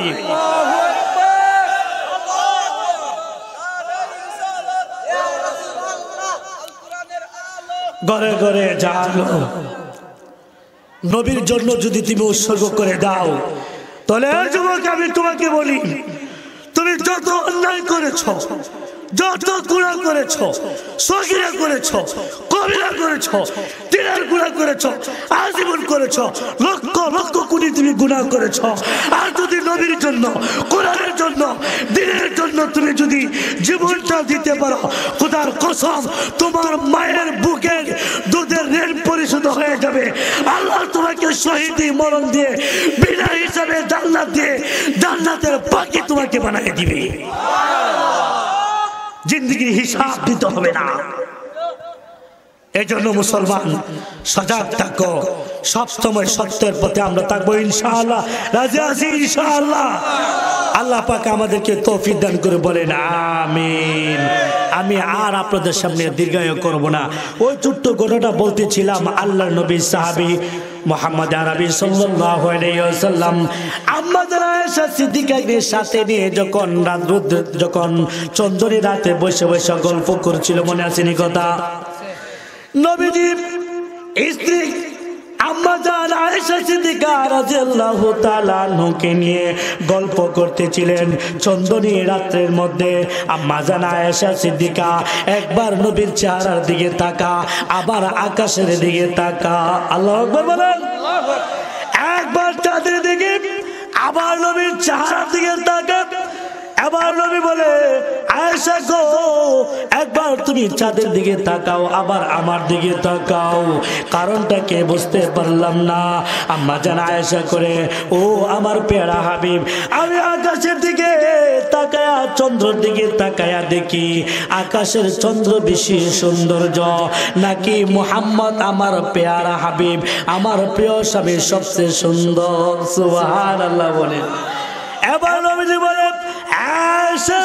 তুমি কি পাইলা? তুমি কি বুঝলা? এবার আম্মা জান বলে, আমি এতক্ষণ বারবার তাকায়া তাকায়া যোগ করে দেখলাম। অগো পয়গাম্বর, আমার আল্লাহ আকাশের চন্দ্রের মধ্যে যে পরিমাণ সৌন্দর্য দান করেছে, তার বেশি সুন্দর যদি আল্লাহ বকরবুল আলমিন আমার প্রিয় স্বামী মোহাম্মদ আরবিকে সৃষ্টি করেছেন। সুবহানাল্লাহ। আমার নবী এত সৌন্দর্য ছিল। আল্লাহ নবী সৌন্দর্যের আলোতে মক্কা নগরীর বাইতুল্লাহ শরীফ আলোকিত হয়ে যেত। নবীর মহাব্বত দরকার আছে কি না? আল্লাহ পাক রাব্বুল আলামিন আমাদেরকে নবীর মহাব্বত নিয়ে প্রকৃত মুমিন মুসলমান হয়ে আল্লাহর তরি জান্নাতে যেতে পারে তৌফিক দান করে বলেন, আমিন। আমার প্রিয় বাবারা আপনারা দীর্ঘ সময় থেকে ওয়া শুনছেন। আমিও ইদানিং লাগাতার কিছু প্রোগ্রাম রাত্রে আসা যাওয়ার ঠান্ডায় আমার গলাটা টেম্পার নষ্ট হয়ে গেছে। যাই হোক, যতটুকু আলোচনা হয়েছে, আপনারা বলেন, আমি আপনাদেরকে এই আলোচনা এখান থেকে কিছু নিয়ে যান, বাবা। যদি কিছু নিয়ে যেতে পারে, তাহলে মাহফিল সাকসেস ঠিক না ঠিক সারাদিন যদি ওয়া শুনলেন জোলাইকা ইসুফের কিচ্ছা শুনছে, ঘটনা শুনছে, সকালবেলা গিয়ে কইতেছে, ঘটনা মজুই লাগছে। ইসুফ আর জুলাইকের ঘটনা হুজুর, আপনি যে কইছেন যে একটা মজা লাগছে। তাই নাকি? তাই কয়, আচ্ছা হুজুর এই যে ওয়াজ করছেন জুলাই ইসুফ জুলাইখার ঘটনা কইছেন। তো জুলাইখা বেটা না বিডি। জুলাইখা বেড়া না বিডি। আচ্ছা বলেন তো এই লোকে কেমন পরিমাণ ওয়াজটা বুঝছে? কিছু বুঝছে নাকি? হ্যাঁ কিছু বুঝে নাই। আরেক দাদা আর নাতি ছোট্ট ঘটনা। দাদা আর নাতি। ওয়াজ ওয়াজ শুনছে।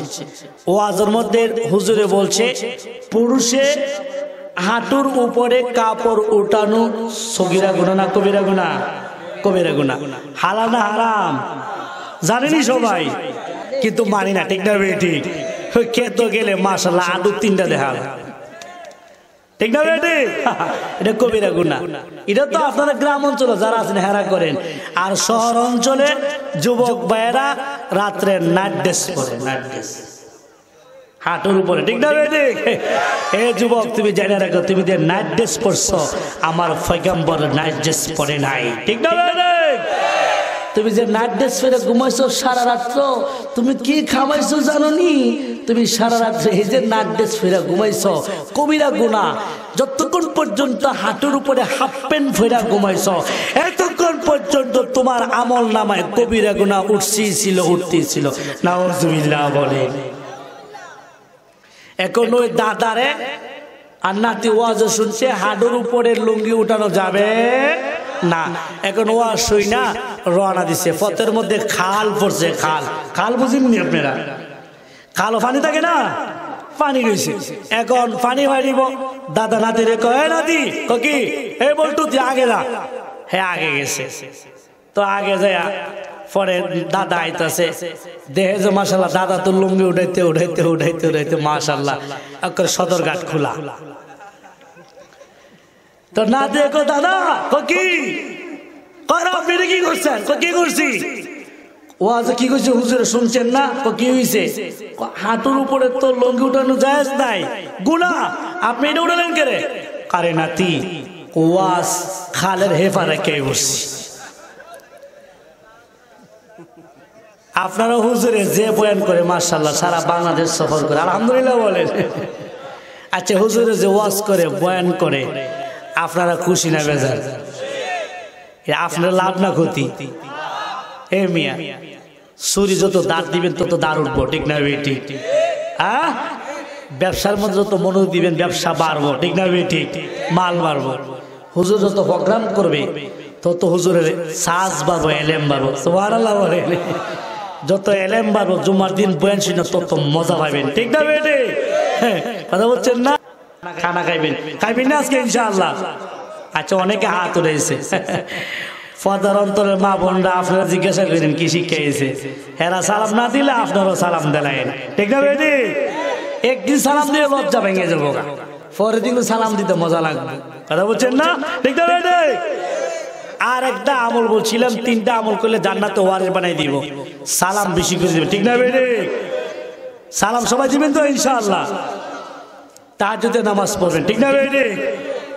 মানুষকে মেহমানদারি করবেন ঠিক না বেটি আল্লাহ পাক আমাদের কবুল করে বলেন আমিন এখন ছোট্ট একটা আমল তিনবার যে ব্যক্তি কুলফুসরা পড়বে আল্লাহ পাক তার আমল নামায় তিরিশ পারা কোরআনে খতম দেওয়ার সব দান করবেন সোহান এই জন্য আমরা সকলে পড়ি আউজুবিল্লাহ মিনাশ শাইতানির রাজিম বিসমিল্লাহির রহমানির রহিম قل هو الله أحد الله الصمد لم يلد ولم يولد ولم يكن له كفوا أحد সবাই পড়েন বিসমিল্লাহির রহমানির রহিম قل هو الله أحد الله الصمد لم يلد ولم يولد ولم يكن له كفوا أحد بسم الله الرحمن الرحيم قل هو الله أحد الله الصمد لم يلد ولم يولد ولم يكن له كفوا أحد صدق الله العظيم বলে আলহামদুলিল্লাহ এখন আমরা জিন্দিগিতে কোরআন শিব পড়তে পারি না না পারি অনেকে আছে কোরআন শিব পড়তে পারে ঠিক না বেটি কিন্তু আমল নামায় আল্লাহ পাক এক কতম করেন সব আজকে মাহফিলে আসার কারণে পাইছেন যে আইসে না হেবাইছে হেবাইছে কোনো পাই নাই। তো আল্লাহ পাক আমাদেরকে আমলটা দিয়েছেন। সকলে আমল নামে এক কত সব। এখন আমি আপনাদের সামনে একটা জিনিস আমি চাইব। আপনারা দিবেন? দিবেন? অনেকে বলে না, ডরাইতেছে। না জানি হুজুরে কি চা।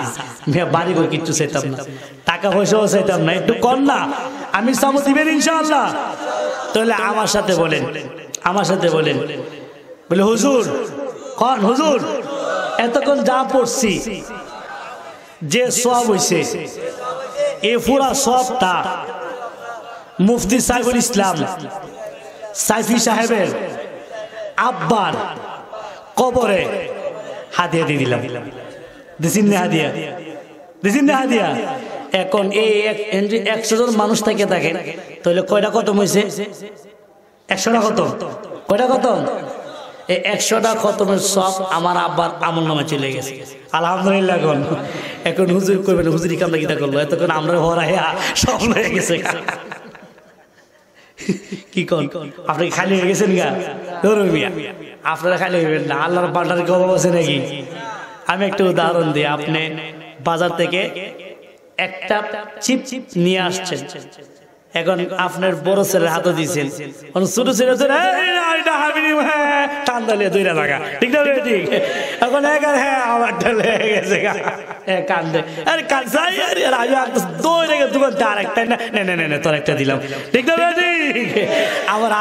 দেখ হেরা নিজে সব কামাইয়া হুজুর আব্বার নামে দিলেছে। হেরা কত দরদি। হেরা কি আমার চেয়ে বেশি দরদি? আল্লাহ ডাক হেদের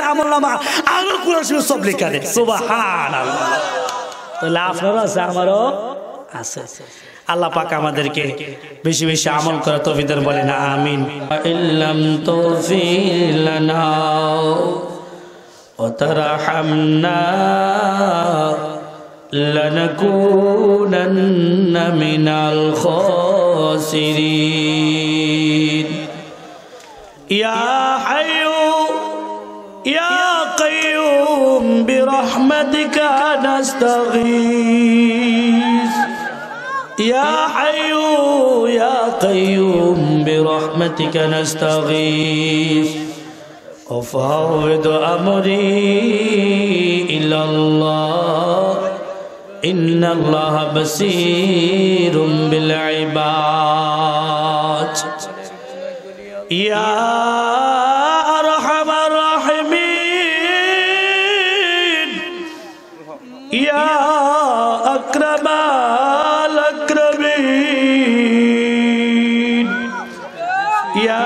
القوة المتين يا رحم المساكين رب كريم তুমি তাকাইতে করে মৌলাও আয় আল্লাহ নাবালক শিশু থেকে নিয়ে বৃদ্ধা বাবারা পর্যন্ত যুবক বায়রা নিয়ে পর্দানে সিনেমা বোনেরা আল্লাহ গভীর রাত্র পর্যন্ত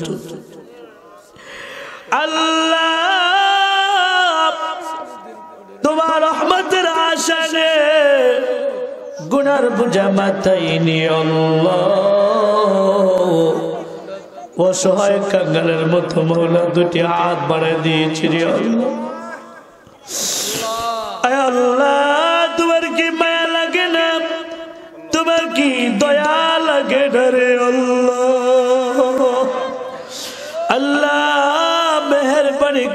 তুমি কবুল আর মঞ্জুর করে নাও। আল্লাহ, আমরা যারা হাত বাড়াইছি রে আল্লাহ, জীবনের ঘুরে তাই লইয়া তবা করে আসতে একবার করে আল্লাহ। গভীর রাত্রে আল্লাহ, তুমি তাকায় পশু পাখিগুলি ঘুমায় গেছে।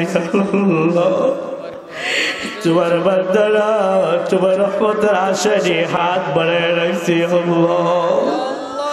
আল্লাহ। মেহরবানি করে তুমি আমাদেরকে মাফ করে দাও। আয় আল্লাহ, গুণাগুলি কদম করে দাও। আয় আল্লাহ, গুণাগার বাড়াইয়া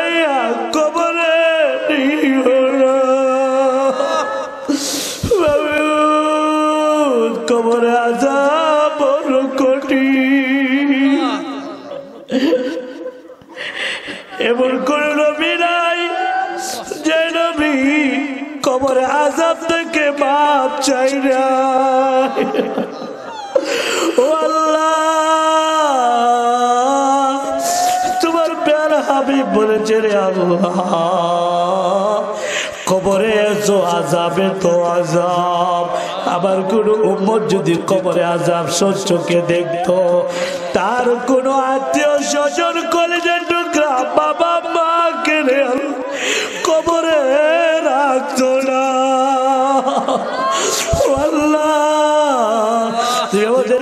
গুণাগার বানাইয়া কবরে ও বাবু, মেহরবানি করে তুমি মাফ করে দাও। তো বাবু, তুমি তাকায় দেখো মৌলা মুখ সাইরের যুবক ভাইরা। আমাদের সন্তানগুলিকে কবল করে নাও। ওই যুবকগুলিকে দিনের আল্লাহ যে যুবকগুলির উদ্যোগে প্রচেষ্টায় আল্লাহ মাহফিলের ব্যবস্থা হয়েছে বাবু। তোমার কাছে দরখাস্ত করি, ওই যুবকগুলিকে তুমি আর বেনামাজি বেড়ায় না।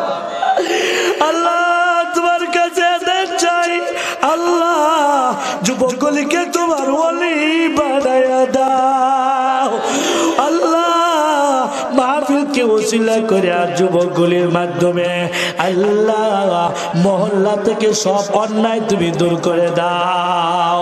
মহল্লা থেকে সমস্ত গুণের কাম দূর করে দাও। আয় আল্লাহ, বর্তমান বা মেমা বর্তমান রানিং মেম্বার, আয় আল্লাহ, আমার কাছে বলেছিল আয় আল্লাহ, দোয়া করার জন্য এলাকায় সুদ বৃদ্ধি পেয়েছে, সকল যেন সুদ থেকে বাঁচতে পারে। আল্লাহ আল্লাহ, মুসলমানকে আয় আল্লাহ। সুদকুর ঘুষকুর বানায় না রে আল্লাহ। ও বাবু মেহরবানি করে আমরা যারা হাত বাড়ালাম, যে যে নিয়তে হাত বাড়াচ্ছেন এক বাসনা পূরণ করে দাও। আল্লাহ, একজন মুরব্বী আল্লাহ, দোয়া চেয়েছে কে জানি অসুস্থ। আল্লাহ, তুমি তাকে শিফা দিয়ে দাও। আমাদের সকলকে শিফা দিয়ে দাও। আয় আল্লাহ কাজ করে মেহরবানি করে আল্লাহ।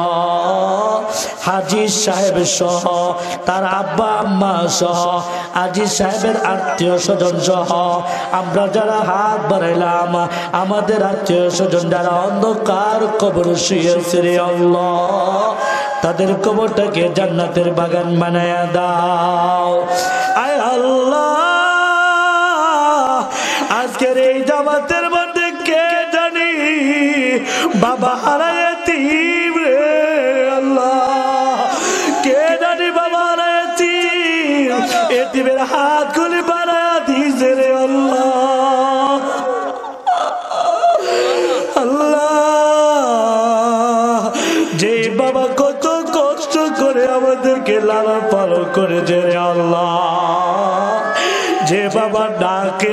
আমাদেরকে খাবার খেয়েছে রে আল্লাহ? যে বাবা সারাক্ষণ রাস্তায় তাকায় থাকতো, আবার শোনা তোর ছেলে কবে আসবে রে আল্লাহ? এক সপ্তাহ অতিক্রম হয়ে গেলে সন্তানের চোখ না দেখলে বাবার গো আসে না।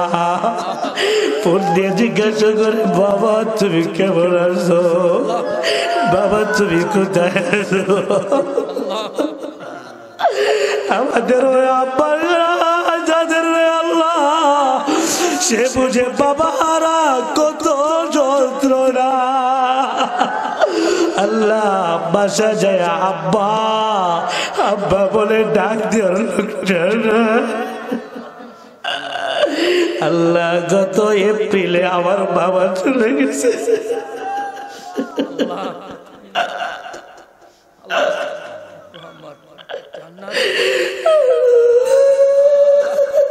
আল্লাহ তোমার কাছে আল্লাহ হ্যাঁ মাহবুব আল্লাহ তোমার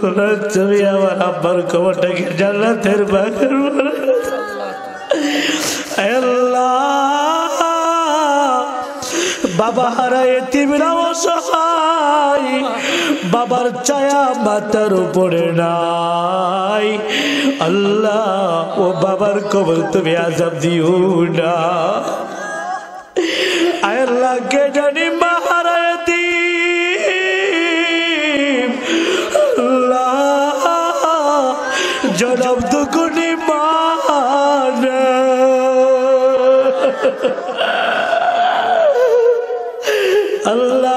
যে মার চেহারা দিকে তাকাইলে আল্লাহ, তুমি হজের সাবধান করো যে মা দশ দিন, দশ বার দশ দিন পেটে ধারণ করেছে আল্লাহ, আমাকে পেটে ধারণ করে আল্লাহ। ঠিক খাওয়ার সময় খাতে পারে না। ঘুমানোর সময়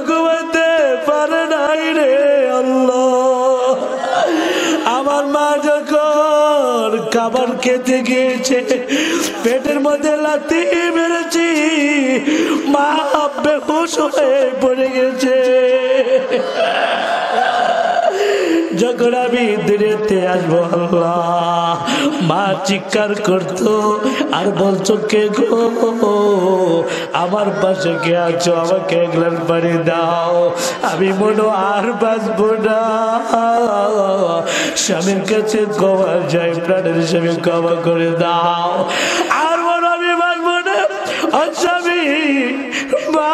করে দাও কে আছো গো আমাকে ক্ষমা করে দাও বিজে বেদা যত মা কতর হয়ে যায় মার করে লাতি দিয়ে আমি যখন দুনিয়াতে আসলাম রক্ত মাখা দেহটা জমিনের মধ্যে পড়ে থাকে কত কষ্ট করে মা ওই সময় যখন মা সত্তরের একবার দেখে মার সব দুঃখ ভুলে যায়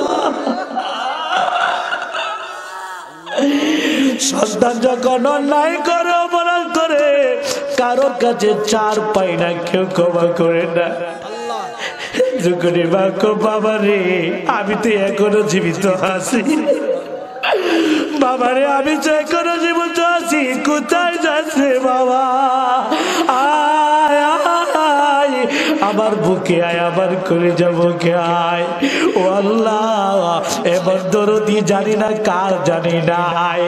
কে যদি বাহারা এতে হাত বাড়াই দিছে মার কবরে আজাব দিও না। রব্বির হামহুমা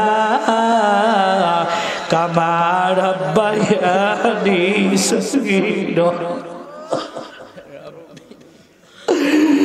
رب ارحمهما كما ربياني صغيرا আল্লাহ আমাদের আব্বা আম্মাকে তুমি মাফ করে দাও যাদের আব্বা আম্মা আছে হায়াতে তুই দিয়ে দাও যাদের আব্বা আম্মা সে খেদমত করা তৌফিক দান করে দাও। ও এলাকাবাসী তোমার পায়ে ধরি তোমার পাওটা আমার কাছে দিয়ে দাও। আমি তোমার পায়ে পড়ি, আমি তোমার পায়ে ধরি যুবক। কোনোদিন মার করে যায় আঘাত দিও না। মার করে যায় যে আঘাত দিবে, দুনিয়া নষ্ট হয়ে যাবে আকারা বরবাদ হয়ে যাবে। সম্ভাবনা আছে, তুমি পাগল হয়ে যাইবা। আল্লাহ আমাদের মাতা পিতার খেদমত করার তৌফিক দান করে দাও। আয় আল্লাহ, যারা আমরা সন্তান নিয়ে সমস্যা সন্তান কথা শুনি না, সন্তানদেরকে আদর্শ বানায়, মান বানায় দাও। আয় আল্লাহ, আমাদের যুবক ছেলেদেরকে গুনার সাইলাফ থেকে হেফাজত ফরমাও। আয় আল্লাহ, যারা পরীক্ষার্থী, তাদেরকে পরীক্ষা সাফল্য দান করে দাও। আল্লাহ, সন্তানগুলিকে দিনে শিক্ষা দেওয়ার তৌফিক দান করে দাও।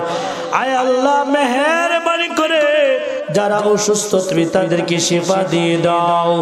যারা ঋণগ্রস্ত আছে ঋণ থেকে উদ্ধার করে দাও। আয় আল্লাহ, যে যে সমস্যা আছে দূর করে দাও। অনেক মা বোন গর্ভবর্তী আল্লাহ, তুমি তাদেরকে রহমত রহমত রহমত দ্বারা ভরপুর করে দাও। আয় আল্লাহ, তাদেরকে হেফাজত ফরমাও। আয় আল্লাহ, যারা ব্যবসা বাণিজ্য করে বরকত দিয়ে দাও। আয় আল্লাহ আজিজ সাহেবের হায়াতে তৈবা দান করে দাও। আয় আল্লাহ, যারা মাহফিল শ্রম দিয়েছে, মেধা দিয়েছে, সহযোগিতা করেছে, সকলের সহযোগিতা কবুলার মঞ্জুর করে নাও। প্রত্যেক বছর আরও বড় করে প্রোগ্রাম করতে পারে, তৌফিক দান করে দাও।